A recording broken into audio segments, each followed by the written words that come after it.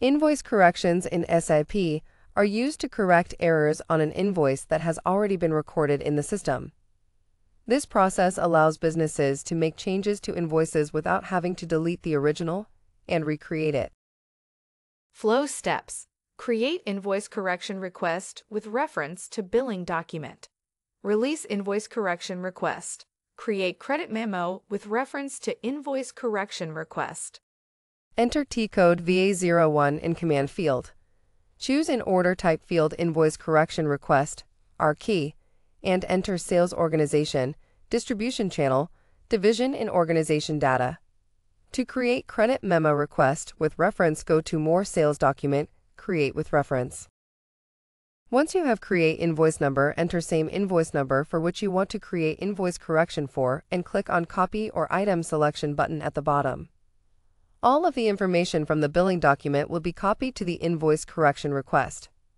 Each item from the invoice has two duplicate items created automatically for the invoice correction request. First, credit item. Second, debit item. These both have the same quantity and value. The system credits the customer with the entire value of the credit item. A difference amount is generated whenever the debit item is changed. First, change the debit item quantity. A billing block is automatically given in this case. Enter an order reason in the Sales tab and save it. Release Invoice Correction Request, T-code VA02. To release the document, click the Item Overview tab. Update the billing block field to blank.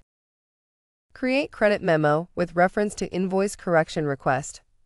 Enter T-code VF01 in command field and enter invoice correction request number.